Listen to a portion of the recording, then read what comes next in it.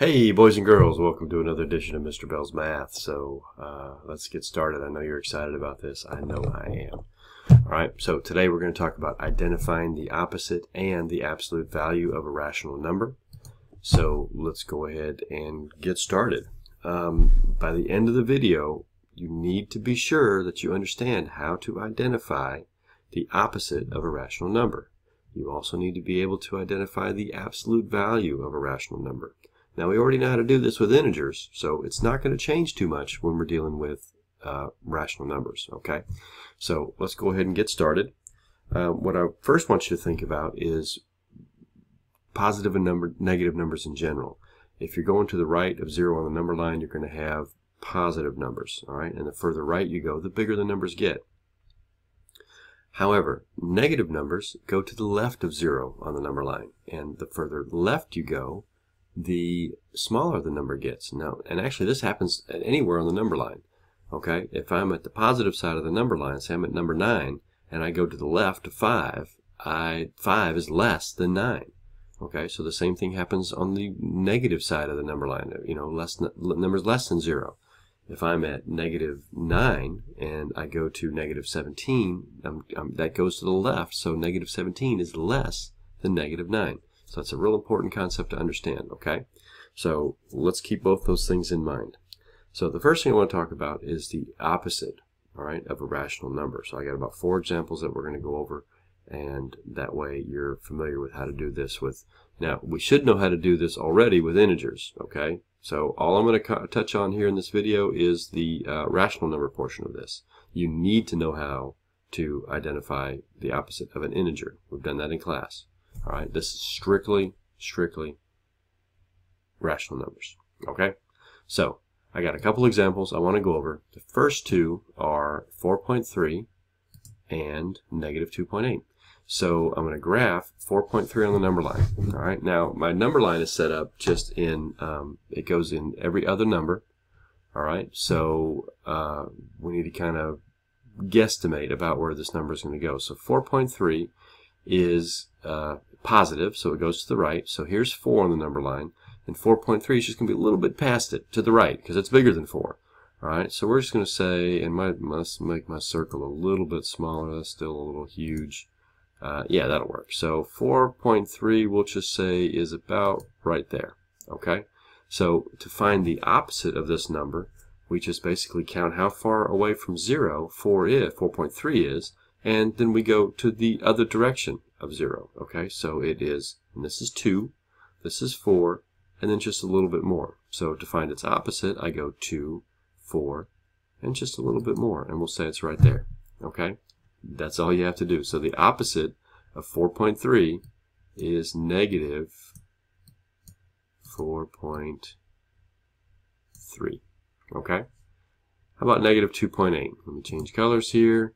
Um, so the first thing we want to do is graph negative 2.8. So you start at 0, you count to the left because of this, the negative to negative 2, but 0.8 makes it a little bit bigger than negative 2, or a little bit smaller rather, because we're going to the left. So it's somewhere between negative 2 and negative 3 is, is my point. So negative 3 is in the middle, so negative 2.8 is just a little shy of the middle. Okay?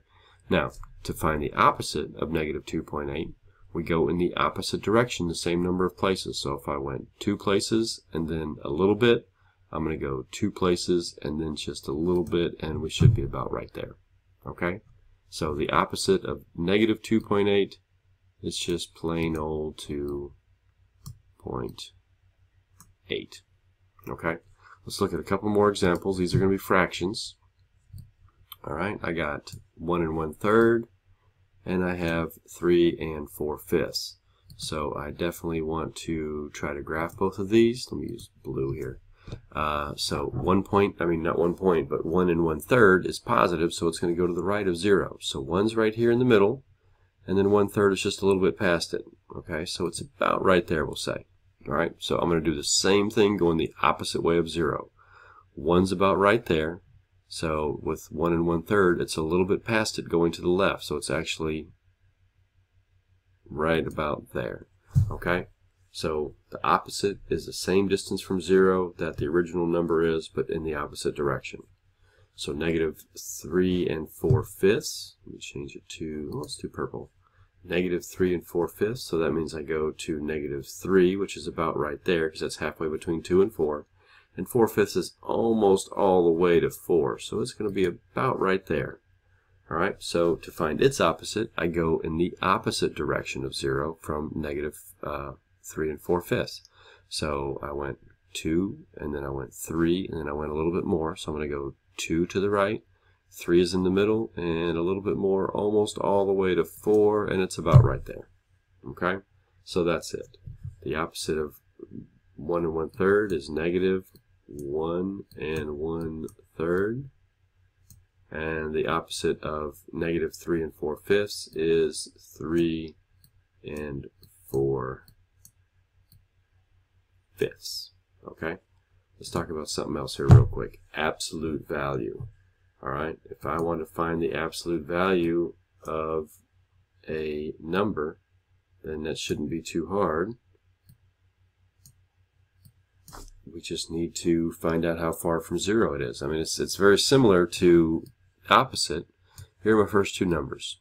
5 and 2 third, or 5 and 23 hundredths, or, and negative 2 and 12 hundredths. Okay?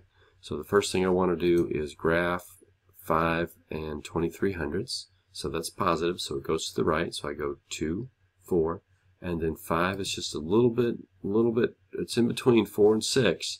And then that 20, that 0.23, it just makes it a little bit past halfway. All right? So how far, remember, absolute value is the distance a number is from zero on the number line. And I think in my last video I said it's always, always, always positive. Okay? So the answer to a absolute value problem is always positive. I don't know that I can express that enough. I still saw some folks putting negatives on it. Okay? And we also designate absolute value with these vertical bars. Okay, they're not ones. I saw some of y'all do that on your answers. You put ones there, but it's just a vertical bar and it's on the it's on the right side of the keyboard if you're ever trying to use them. Okay, so the absolute value of 5.23 is you got to count how far it is from zero on the number line. So 2, 4, 5.23. So the absolute value of 5.23 is 5.23. Alright, let's change colors. Make this a little bit thinner if I can. Um, I want to use the highlighter. Well, that's okay, doesn't matter. Alright, here's my absolute value bars. I'm looking for the absolute value of negative 2 and 12 hundredths. So to do that, let me get that small one. Yeah, that works. Okay, negative 2 and, and 12 hundredths. So I got to go to 2, and then I got to go just past 2, just a little bit, okay? And I find out how far that is from 0. It is 2 places plus that little extra. To be exact, it's 12 hundredths of, of, of a unit. So the absolute value of negative 2 and 12 hundredths is 2 and 12 hundredths. All right, it's positive. If it's a negative number you're getting the absolute value of, the answer is going to be positive. If it's a positive number you're getting the absolute value of, the answer is going to be positive. It's always, always, always positive answer for absolute value only. Okay? Opposites, you're going to have either a positive or a negative. All right, so let's look one more at a couple fractions. I got negative 6 and 3 fifths. And I have 7 and 5 twelfths. So I'm going to erase some of this real quick. Alright, so first thing I need to do, once again, is to make sure I draw my absolute value bars, which is here and here. And I also want to do it in, let's do the purple. I got absolute value bars here and here. And that just tells me, you should know by looking at this, that it wants the absolute value of these numbers. Okay? So, First thing I want to do is graph negative 6 and 3 fifths on the number line. Let me get rid of those numbers. Alright, uh, negative 6 and 3 fifths, so I got to start at 0, go 2, 4, 6. And 3 fifths is a little better than halfway, so remember 7 is here, so it's not quite to the halfway mark here, but it should be somewhere around there.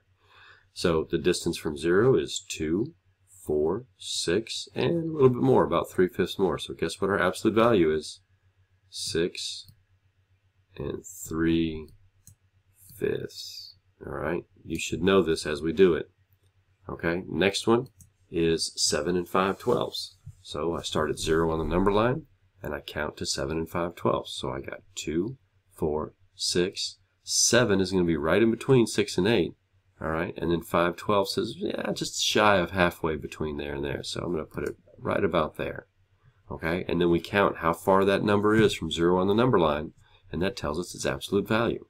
Right, so it's 2 places, 4 places, 6 places, 7 places, plus a little bit more.